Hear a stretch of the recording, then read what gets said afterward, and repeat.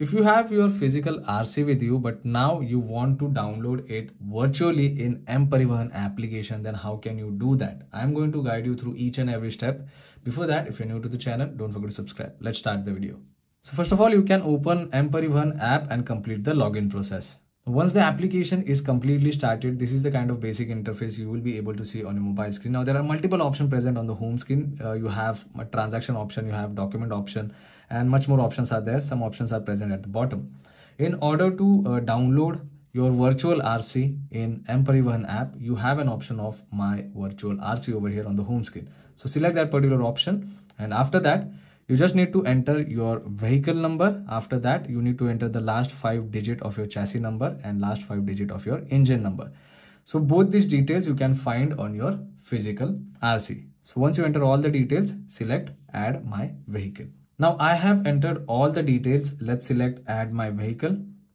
You will receive an OTP on your registered mobile number. So make sure to enter that OTP over here and then select submit option. So I have entered the OTP. Let's select submit option now you can see we have got a notification of my vehicle added successfully so press ok and you will be able to check out your rc over here now if i go back we are on the home screen you can once again go in my virtual rc and over here you will be able to check out your virtual rc so select view virtual rc now you can check out your RC details on this particular page. You can check out the QR, you can check out your vehicle number, you can check out the owner details over here. Uh, chassis number is given, engine number is given, maker name is given over here. If you go down, you can check out much more details. Like you can also check out the insurance policy if it has. You can check the validity of your insurance.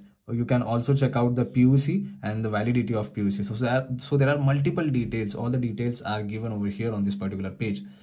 So this is how simple it is to download virtual RC in your M Parivahan application. If you find this video informative don't forget to subscribe. I'll see you all in the next one. Thank you